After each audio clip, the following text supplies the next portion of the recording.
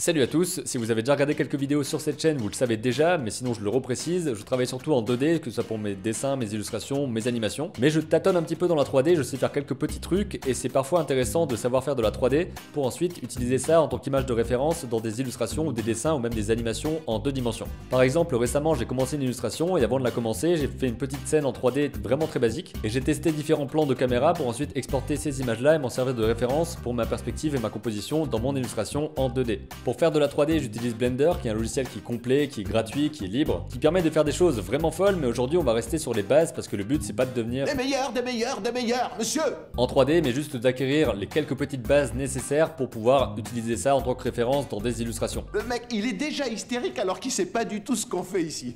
Évidemment, la première chose à faire, c'est télécharger Blender. Donc pour ça, vous allez aller sur blender.org pour télécharger la dernière version en date qui est la 2.79. Vous choisissez votre système d'exploitation, vous téléchargez, vous installez, c'est pas très compliqué. On lance le logiciel et on tombe sur ça. Et ça fait flipper. Alors première chose, c'est tout en anglais, il y a moyen de le traduire en français d'une façon ou d'une autre, mais on, va, va pas le faire. Tout simplement parce que tous les tutoriels que vous allez trouver utiliseront ce lexique en anglais qu'il va bien falloir s'y habituer et que c'est au final pas si compliqué que ça. En tout cas, dans ce que je vais vous montrer ici, ça va simplement être pour faire des choses très simples. Pour de la 3D, c'est toujours mieux d'avoir une souris évidemment. Voilà. Donc première chose, ici on a notre surface en 3D, donc dans lequel on va venir travailler pour mettre nos éléments, et ensuite on a tout plein de réglages qui se trouvent absolument partout autour. Et je vais peut-être mettre un truc en dessous de ma souris pour vous éviter d'avoir ça. Cette partie qui est sur le côté, on n'en aura pas besoin dans ce tutoriel là, donc je vous conseille d'appuyer sur la touche T pour la faire disparaître. Et on va s'intéresser à ce qui se passe ici. Donc vous voyez que si je clique gauche, je vais faire bouger le curseur 3D qu'il y a au milieu, et si je veux sélectionner quelque chose, je vais cliquer droit sur cette chose. Donc mon cube de base est sélectionné au départ, je peux aussi sélectionner ma caméra ou ma lampe. On parlera pas de la lampe, on parlera seulement de la caméra parce que la lampe ça permet de mettre la lumière où on veut, mais on va pas utiliser ça, ça commencera à devenir un peu plus compliqué. Donc je vais recliquer droit sur mon petit cube et voir qu'il y a différentes flèches. Donc si je fais un clic gauche dessus, je peux bouger sur les différents axes. Et ensuite ici on voit qu'il y a un petit arc qui me permet de faire la même chose pour les rotations. Et il y a pareil pour un outil de transformation pour me permettre d'étirer mon cube sur différents cercles. Sur différents cercles, sur différents axes. Évidemment, CTRL Z pour revenir en arrière. Ensuite, évidemment, en 3D, le but c'est de se balader autour de ces objets. Donc pour ça, je vais pouvoir appuyer sur la molette de ma souris. Donc si je fais rouler la molette, je peux zoomer ou dézoomer. Et si j'appuie dessus, que je laisse appuyer et que je tourne, je peux tourner autour de mon objet, ce qui va être le principal intérêt de faire des choses en 3D. Et si je laisse Shift appuyer pendant que je fais ça, je peux me balader de façon euh, pas comme ça, mais euh, plutôt latéralement, si on peut dire. On sait maintenant manipuler notre cube, donc en allant sélectionner à chaque fois le petit axe rouge, vert ou bleu, mais on peut aussi le manipuler avec des raccourcis clavier, donc sans cliquer sur les petits boutons qui y a en bas, et dans Blender, les raccourcis clavier, ça va être très important parce que ça va vous faire gagner beaucoup de temps. C'est pas très compliqué, il y a juste trois raccourcis à retenir, donc si j'appuie sur G, je peux bouger mon objet. Si je fais un clic droit, j'annule l'action, et si je fais un clic gauche, je confirme. Donc si j'appuie sur G, que je vais là, que je fais un clic gauche, il reste là. Si j'appuie sur G, que je vais là, que je fais un clic droit, il revient à l'endroit précédent. Donc G, c'est pour déplacer. R, c'est pour rotater, faire, enfin, faire une rotation. Et S, c'est pour agrandir ou rétrécir. Et ensuite, je peux aussi les contraindre sur différents axes, donc X, Y ou Z. Donc si j'appuie S, X, je peux le faire que sur cet axe. S, Y, je peux le faire que sur cet axe. Et S, Z, je peux le faire que sur cet axe. Avec ça, vous pouvez manipuler n'importe quel objet et même la caméra et la lampe. D'ailleurs, la lampe, je vais même carrément l'enlever. Donc pour enlever un objet, vous cliquez droit dessus pour le sélectionner. Une fois qu'il est jaune, il est sélectionné. J'appuie sur X, je le supprime. Comme ça, on s'embête pas avec ça. Donc maintenant, vous vous dites, ok, j'ai un cube, je peux le manipuler, je peux l'agrandir, le rétrécir, faire ce genre de choses. Mais comment je fais pour avoir d'autres types d'objets, comme par exemple une sphère? Pour ça, vous allez aller dans le menu qui a juste en bas, qui s'appelle Add. Et on va pas se servir de tout ce qu'il y a autour, on va juste aller dans Mesh. Donc Mesh, en gros, c'est vos objets de base. Et on va par exemple cliquer sur euh, une UV sphère, donc qui est une sphère classique, qui va me permettre d'avoir cette sphère-là. Et je vais pouvoir appuyer sur G, Z pour la placer où je veux, G, Y pour la mettre là. Et là, je l'ai placé juste au-dessus de mon cube pour former un élément, un bâtiment ou n'importe quoi. Et si je veux les déplacer ensemble, je peux faire un nouveau clic droit sur le cube. Là, on voit que les deux sont sélectionnés et à ce moment-là, je bouge les deux. Encore une fois, un autre raccourci clavier qui est très important à retenir, c'est Shift A qui vous permet d'avoir le même menu qu'en bas dans Add.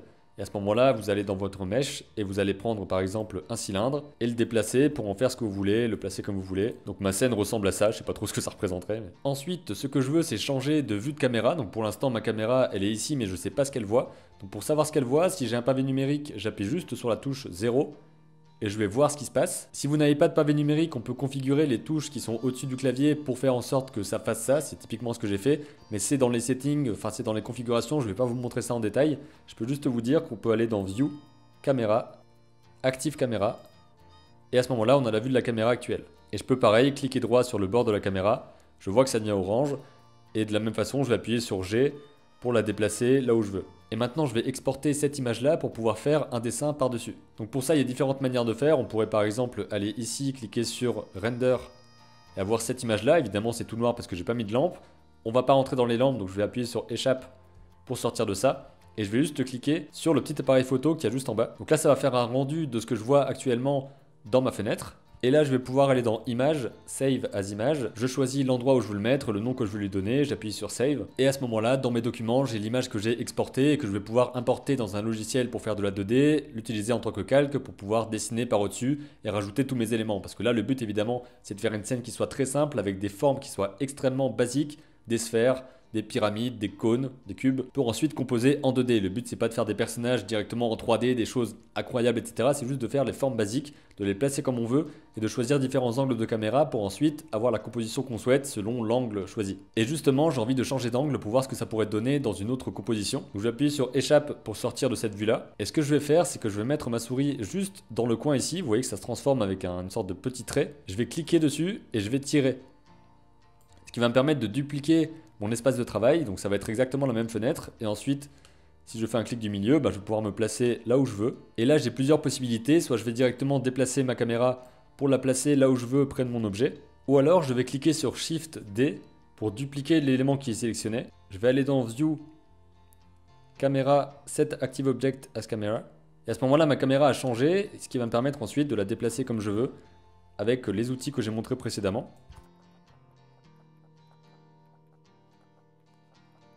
Et là, par exemple, je veux que ce soit une sorte de tour avec un dôme au-dessus et une sorte de canon qui irait faire un truc. Donc ce que je peux faire à ce moment-là, c'est manipuler mon cube directement, donc ne pas le changer de place, mais manipuler sa forme. Donc je fais un clic droit pour le sélectionner. Je vais aller juste en bas et cliquer sur Edit Mode. Donc à ce moment-là, j'arrive sur les choses qui sont éditables, comme par exemple les arêtes, les points, les faces. Donc là, je suis en mode point, mais je peux aller sur les arêtes ou les faces. Je me mets sur le mode face, ce qui me permet de faire un clic droit sur la face du bas. J'appuie sur G, sur Z, et je vais la déplacer pour qu'elle sorte du cadre. Et ensuite je retourne sur mon mode objet, ce qui me permet d'avoir ce que je souhaite et je peux ensuite derrière placer par exemple d'autres cubes pour faire une ville et ensuite avoir une illustration complète avec quelque chose qui va au loin et qui me permettra d'avoir la perspective assez facilement parce que je pourrais dessiner par-dessus mon image 3D.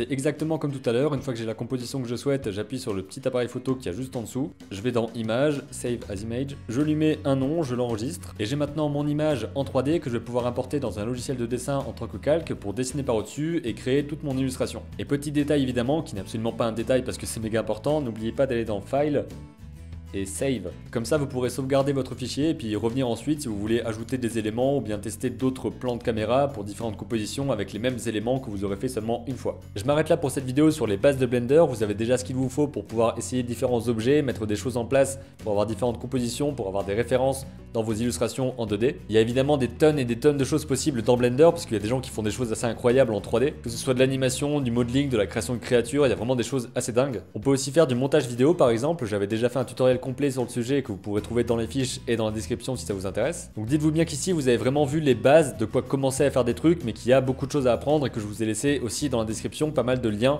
vers des tutoriels en français et en anglais pour apprendre les bases et plus que ça. Et pour ce qui est de l'utilisation d'images en 3D et de mouvements 3D de caméra, etc. dans vos illustrations et dans vos dessins, sachez qu'il y a un artiste qui est assez...